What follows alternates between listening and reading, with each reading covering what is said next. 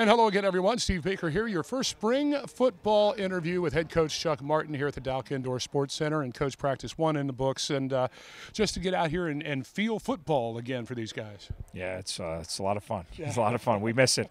It's been a long time since the Cure Bowl. Uh, it's the last time we really got. Um, have had a great off-season conditioning and lifting all that, and that's fun too. But it's not fun like being out here. Obviously, you're just in helmets, um, so it's not we're not, you know, Sunday we'll get some pads on and get some real football going. But again, you still, everybody's back out here. We're flying around. Um, we're doing some good things. We're doing some average things. We're doing some awful things. Uh, I said we just had a nice four-play sequence where a kid puked. Then we dropped a five-yard speed cut. Then the kid puked again, and then we threw a pick. So that wasn't really very yeah, good. So, yeah. but it's spring one, and we got a long time till August whatever it is that we play our first game or September we play our first game. But it was great to be back out here. A lot of energy, uh, a lot of enthusiasm. And then again, a lot of new faces. You know, yeah. so there's some transfers. There's six six high school seniors that should be getting ready for prom that aren't here. Yeah. Uh, so it, it, was it was awesome to be back out here. That was my next question. The newcomers, uh, several early enrollees, and your transfers. Uh, at this point, you know, of spring ball, t- take me through spring ball. Do you really look at those guys to say, okay, they're going to fit a hole here, maybe in the fall, or do you just work the guys getting back to football? Yeah, no, we know we have some holes to fill. They, the players at those positions, know the opportunities, and there's multiple guys that obviously want to fill them.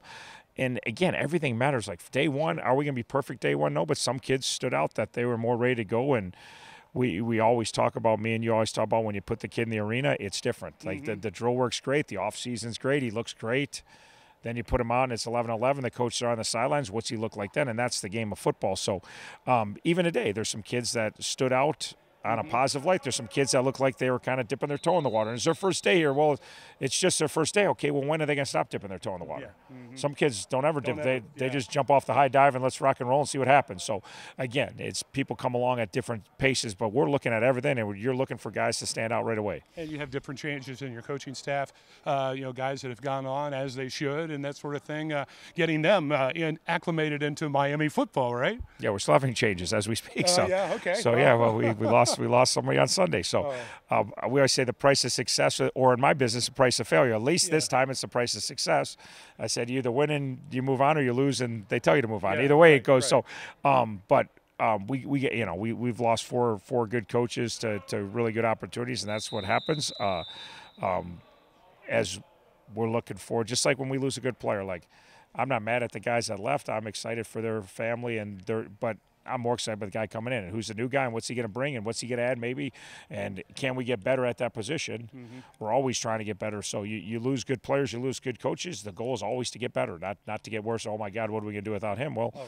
we're gonna we're gonna find somebody to replace him that's even more excited to be at Miami and can bring even more to the table. So, but we had some coaches that were kind of dipping their toe in the water today too. I think. I, I, wouldn't blame them to be honest with you, Coach. Uh, take us through the next week. We'll talk again a week from now. What uh, what are you looking for, and kind of run us through the practice schedule. You said pads on Sunday. Yeah, so we got Thursday helmets again. Then we're going Sunday um, with our first padded practice. Then we're going Tuesday, Thursday, leading up to spring break. Yeah. So we'll get five in before spring break, which will give us a really good start. That'll be a third of spring ball. Yeah.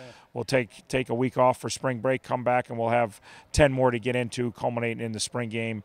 Um, so the nice thing gets split. We can get some work done. We can take a deep breath, kind of do some inventory. Kids can get their legs and bodies back in shape, and we can go get after it for 10 practices after break. So that's kind of the schedule. Coach, thank you very much. Thanks, Mike. Head Coach Chuck Martin joining us. And don't forget, the season tickets are available now. The schedule has been released, and you can reserve your seat for six home games. That's right, six home games, including Ohio and Cincinnati, will be here at Yager Stadium. Go to MiamiRedHawks.com, get your tickets, and we'll see you at Yager this fall.